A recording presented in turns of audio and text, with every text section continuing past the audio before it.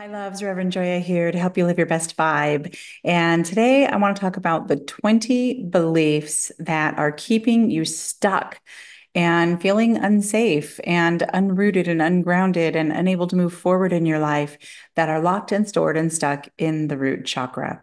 So fascinating how, as I do this work, I often ask, Am I doing the work or is this work doing me? Because everything that I'm going through and working on happens to always just align perfectly with like the Lion's Gate that's happening now. So let's dive or... into this topic.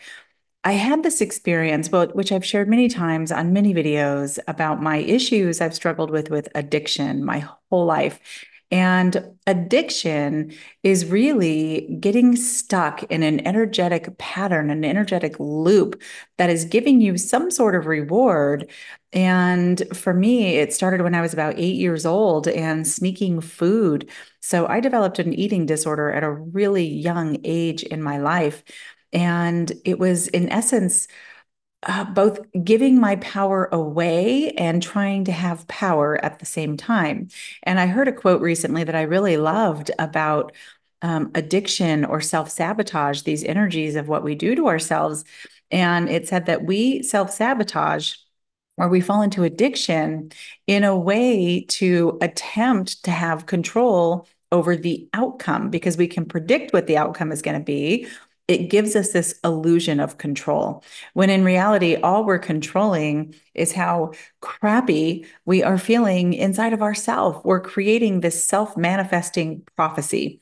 And as I've been doing this work to heal deeper and deeper my own addiction issues, uh, I think I'm on like day 65 now of zero alcohol and cutting, like stopping the binge eating, all of these things, these habits, these ways of coping that I have dealt with my whole life. And so now, as I'm about to step on a stage next week to compete in a speaking competition, I'm really coming out of the of the visibility barrier the cave i built for myself to hide inside of and i'm really coming out and stepping into this um, true self resurrection process.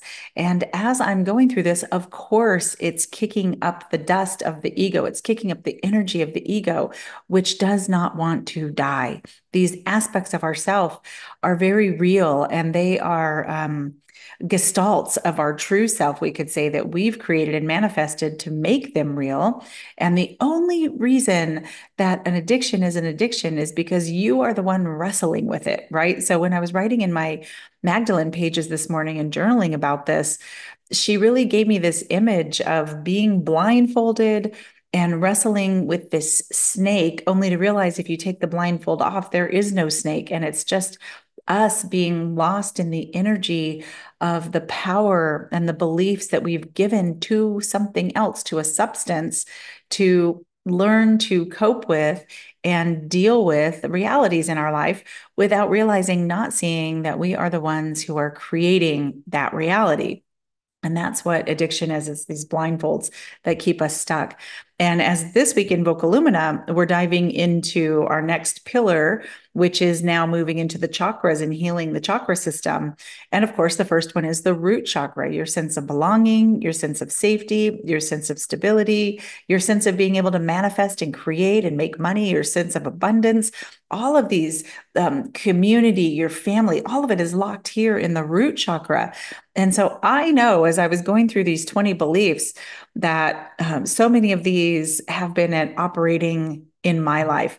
And your own life is the perfect path. It's the perfect stepping stones to your soul's growth. And so I know that the energy of the addiction energy that's being kicked up in my life right now is being made conscious. It's being brought up to the conscious level so that I can see it. And mm, uh, the Magdalene Council also told me about um, consciousness when things arrive to the consciousness that there are there's thought consciousness. You can actually have a thought that's made conscious that wasn't conscious before. There's feeling consciousness. You can feel a feeling, have that those epiphanies that you didn't have before. And the third one is the impulse consciousness of an action that's arising as a wave, as an impulse, as an urge.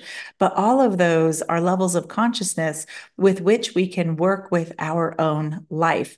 But we have to be able to have that spaciousness inside of us to be in realization, to be in awareness that this is the path, that this obstacle is the invitation. So as I was sitting with this urge arising from me, from my body. So first it arose as an urge and I could feel it. And I was like, oh, I really want a glass of champagne. And so I was just sitting with this feeling. I was at the airport and I was feeling and just sitting in it. And what does this urge feel like? And I was doing what in mindfulness you call surfing the urge, right? If you just be with the feeling of it and sit in it and breathe through it, you just let it pass, it will pass. But instead of passing, it was getting stronger and stronger. And I could notice it in my body as it, and it felt like a wave that was just coming over me. And then a thought popped in, a conscious thought popped in that said, Why don't you just go ahead and have one? No one will know.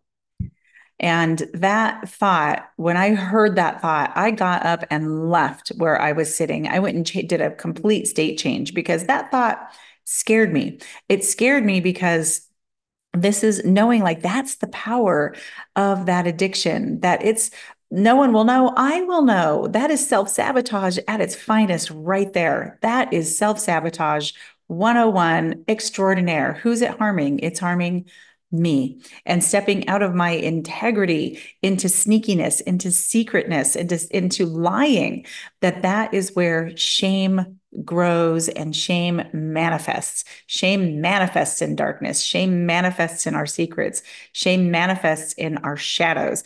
And so we have to be the ones to stop creating those experiences, those inner feelings of shame, of regret, of resentment, of remorse, of um, humiliation, of betrayal, self betrayal, right? We're not only betraying the people outside of us, but we're betraying our own self. We're betraying our higher self, our deep self, our spark of the divine that is rooted inside of us, that is wanting to grow and express as us, through us, in us, as us, in our lifetime, in this body. But we have to be the ones to first create a safe space inside of ourself for that light to grow. And as we're doing this work, of growing that light, of facing our shadows, of turning toward these things, know that the arising of those things is your opportunity to be in practice. That is the practice. Life meets you where you're at. And so for me to practice my integrity, to practice my self trust, to practice that was for me to get up, to go find a little store, to buy a book, to go find a different corner to just sit in. And I just sat and escaped into my book because I was at the airport and I wasn't at home. But the next day I had an opportunity to sit and journal and converse with that part of myself, this self sabotage that is my ego arguing for my smallness. It is our ego, our protective mechanisms we've put in place to bury and hide our authentic self, to bury and hide our true self that we were not allowed to express or that we were judged for being. And being judged for being who you are is got to be one of the most painful experiences that a human being can go through. And i talk about that in my talk that i'm giving this week coming up. It's such a such an important key. But let's dive into these 20 belief systems and see if any of them resonate with you that are being made manifest. So this is the thing to know is that what you are believing to be true is what you are manifesting in your life because this is the way we work as a creator being. We are always constantly creating. And in fact, I changed the name of my program, the Vibe Formula. It was the Vibe Formula Manifestation Program, but like, we're always manifesting. So it's really the Vibe Formula Authenticity Program because we want to learn to vibrate from our authentic self so that our creations begin to reflect that instead of a false belief system that we have built and put in place and keep operational for the illusion of control, for the protection of the self, for the projection of the self, and that we are self validating our reality all the time. So let me dive into these 20 beliefs. The number one belief, and they're all associated with the root chakra. So this is our, our groundedness, our place of belonging, our sense of who we are, our I amness in the world is rooted right here. And the first one is I don't belong here. I don't belong here. Feeling out of place and disconnected from your environment or your community. The second one is I don't want to be here. A desire to escape current circumstances, often due to a sense of overwhelm or discomfort. The third one is it's not safe to be here. A belief that our environment or the world at large is dangerous and threatening. It's not safe here. And this is an old wound. This is an old reincarnation wound. This is this is the witch wound, it's the priestess wound, it's the priest wound, it's the spiritual wound where at one time in past lives it was not safe to be here because we were murdered for our beliefs. I'm not wanted here is number 4. I'm not wanted here, feeling unaccepted or rejected by others, leading to a sense of isolation. This was a strong one for me as a child. I'm not wanted here. And I was told I wasn't wanted. So that really reinforced that I'm not wanted. I'm not valued. Number five, belief that your presence and contributions are unappreciated or ignored. I'm not valued. Number six, I'm not good enough persistent feelings of inadequacy and self doubt about your ability and your worth. Number seven, I'm not loved. Feeling unloved or unlovable, often stemming from emotional wounds.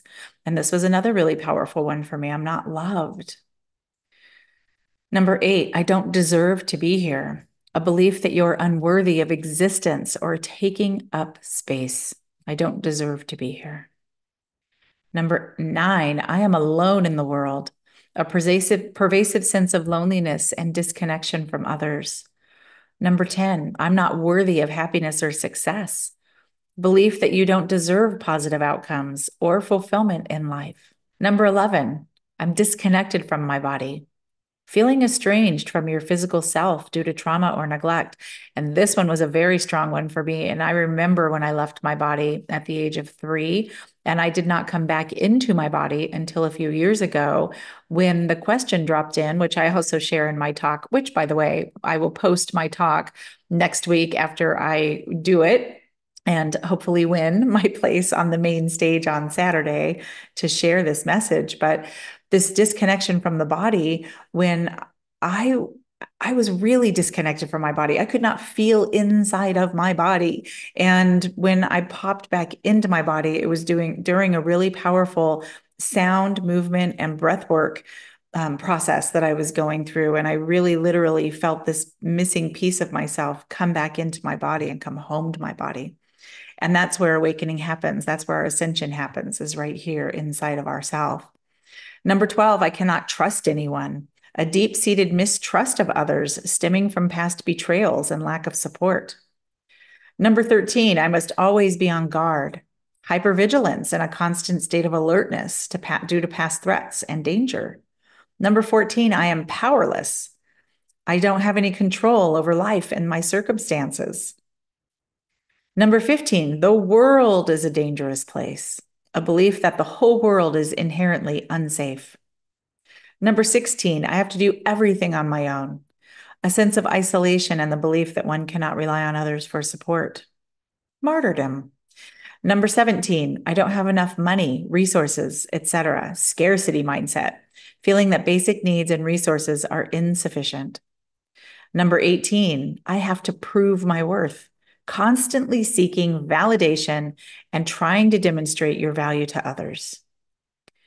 Number 19, I'm stuck, feeling trapped in circumstances with no way out. And number 20, I can't be myself, believing that one's true self is not acceptable or safe to express. So, of course, we can work with affirmations to uh, change these beliefs. Obviously, we have the belief of I am stuck the affirmation to, to come out of that is I am flowing. And we don't want to say I'm unstuck because the brain doesn't hear negatives. It only hears the point. And so we we we can't say like um you know that's like to say that when you want something really bad you're implying you don't already have it. So you want to move from want to gratitude and being in abundance and knowing that what you what you're desiring what you're creating is coming to fruition which is a totally different energy than want. So when we're feeling these feelings or we have these beliefs, I don't belong here, we feel displaced and disconnected from our community. Well, what do we do? If this is our unconscious belief, I don't belong here, and I go and I show up somewhere, I'm going to show up like I don't belong here. I'm going to put out that vibration of I don't belong here. Other people are going to pick up that vibration. She doesn't belong here. And they're going to treat you like you don't belong here, but also because you're not being warm and you're not belonging, you're not fitting in. The belief, I don't want to be here, right? What are we manifesting when we say i don't want to be here we can manifest procrastination. We can manifest not getting anything done. We can manifest complete escapism. It's not safe to be here. We might put ourselves in, in dangerous situations or attract dangerous people because we believe that it's not safe.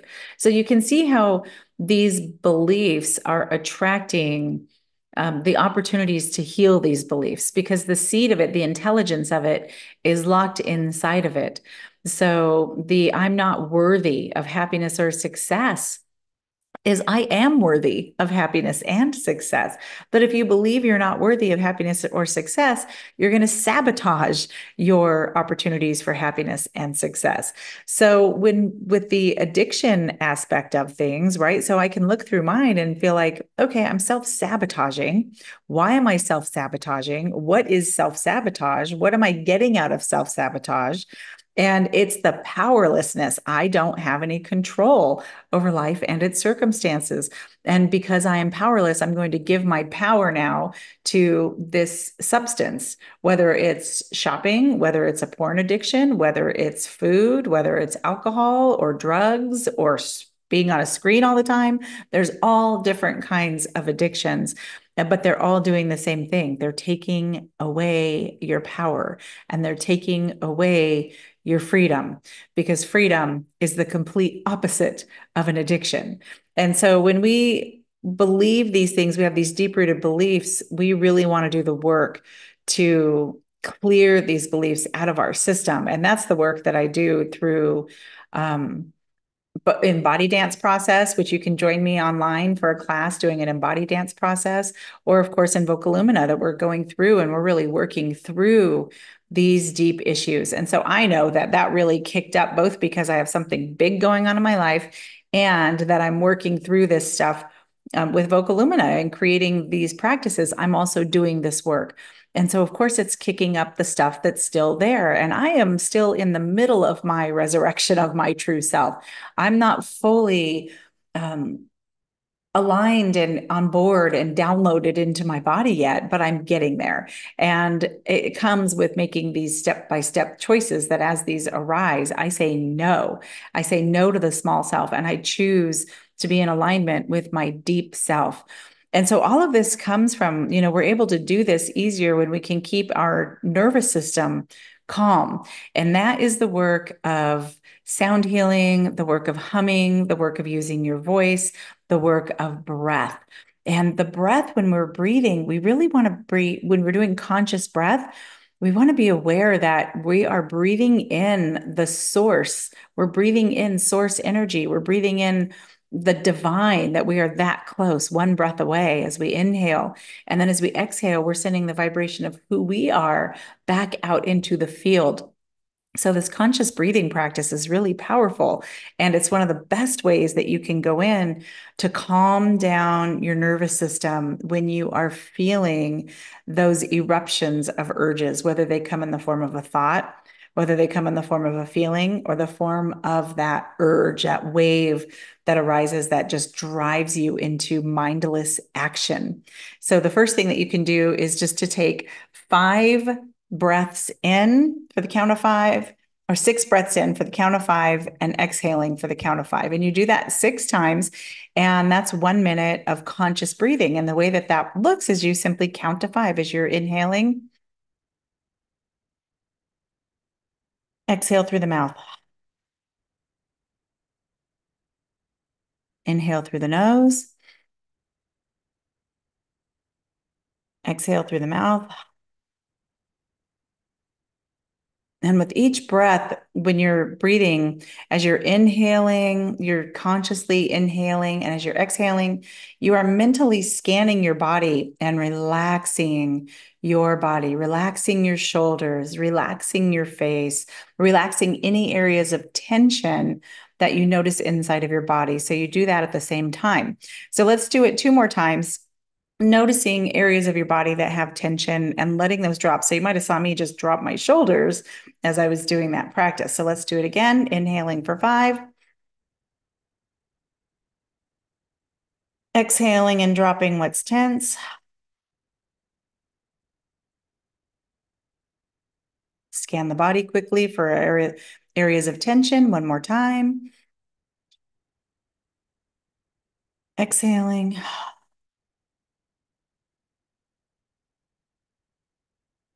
And when you finish that practice, just let yourself sit in silence for like 15 seconds. It's really powerful. The other practice that you can do to calm down the vagus nerve, to calm down the body, to calm down your nervous system is to hum. And I like to set an alarm. I'll do it for three minutes. So, three minutes I have found is the perfect amount of time to completely distract me and change my state vibrationally through humming or toning. So, for humming, you would just take a deep breath in Mm.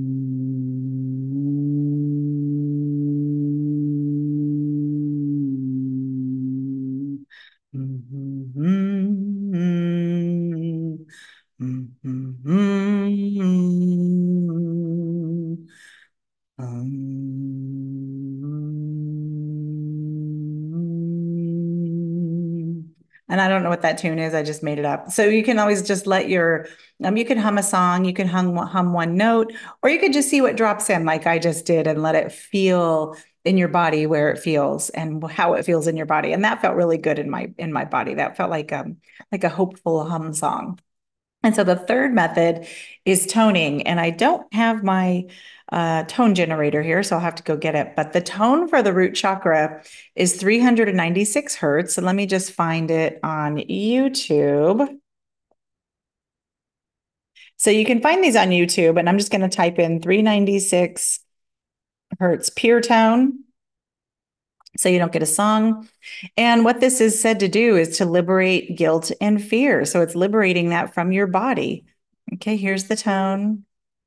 Turn on my sound. Okay, so here's the pure tone. You can hear it. And then you do that sound with your voice for one minute, releasing limiting beliefs, fear, guilt, shame, lack, scarcity, worthiness, all of those beliefs, all of those issues. And I like to ask for my deep self to give me guidance to clear these things out of my body, out of my system.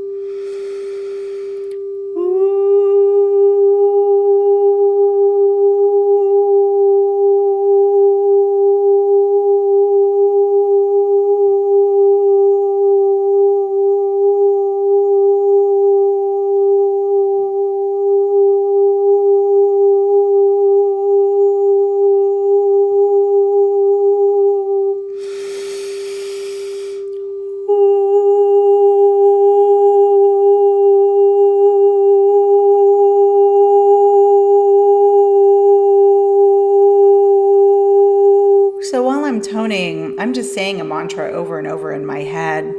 And it's a simple uh, metta prayer that I learned from mindful self compassion training. And it's just, may I be free. May I be love. May I be worthy. Because you already are. You already are free. You already are loved. You already are worthy. You already are all of those things. And so we are removing the obstacles that are in the way that we've set up in agreement with what other people told us, what other people taught us, and knowing that those things are not true. These are things that we've taken into our own self to create the illusion of control for an uncontrollable reality or beliefs that we've adopted that we believe to be true from other people about our worth, about who we are in the world. And so the prayer is always a restoration, a resurrection, a reclamation of our true self that we have buried and hidden inside of ourselves, and we've kept it protected. and we protect it with our belief systems. So this is the work. This is the when I say to people we got to do the work. This is the work is we're removing those obstacles that we've created to our true self. And those obstacles definitely can be stored grief, stored anger, stored helplessness, stored rage, stored feelings of being unloved. And these feelings are not fun to deal with. And so the importance is as you're doing these works and you're doing the breath to calm the nervous system and you're doing sound to sound it out of your body, that you don't tell yourself a story about it. As you do the work to loosen up and these these things come arising to the consciousness for you to see, to be aware of, know that they're there so that you can forgive them, you can forgive others, you can accept them, you can accept yourself, you can forgive yourself, you can love this part of you too, because it's all about reclaiming all of these bits and pieces and those shadow selves these belief systems that we've created, these addictions that we've created, these power structures that we've given our power to are not real. They do not exist because when you cease to exist, the importance and the uh, value that's being placed on that in that particular way ceases to exist. So that's how you know it is not real. It is only real in your reality. And you are the creator of your reality. So you have the power to absolutely go in there and uproot these beliefs like they're weeds, get rid of them, and implant new beliefs. And the only belief that you need to implant is that you are divine and that you are loved, that you are created in the image and likeness of the mother, father, source creator, that you are the child of the mother, father, source creator. You are the third aspect of that trinity. You are the son, you are the daughter, you are the emanation of that divine spark, and you have free will to create the life that you will to create when we get ourselves off of autopilot, when we get ourselves out of the scripts and the agreements that we ourselves have made to be true, and then we protect them through our energy. So, this is the work, this is the invitation. And the first step is to create that spatial awareness between stimulus and response. And Dr. Uh, or Viktor Frankl said it so beautifully when he said, in between stimulus and response, there is choice. And that's where your power lies, is in that choice. And so it's really a matter of choosing in alignment with your higher self, choosing in alignment with a big vision that you have for your life, choosing in alignment to be the divine spark of source creator that you are, choosing in alignment to be the light of the world. That's the work. And as always, I invite you to join Vocalumina at skool.com forward slash Vocalumina. We're just now diving into the chakras, but you'll start from the beginning because it is a structured system to first cultivate that awareness so that as we go into this work now and you start kicking these things up, you're able to see it so that you can free yourself from it. So you can join anytime and hop into the community. And of course, there's also meditations and classes coming up on my website, vibologie.com. And you can come to any class, and I would love to see you there as well, where we dive in and do this work too. So to free ourselves, and we got to free ourselves to be ourselves. All right, my loves, I'll see you soon. Bye.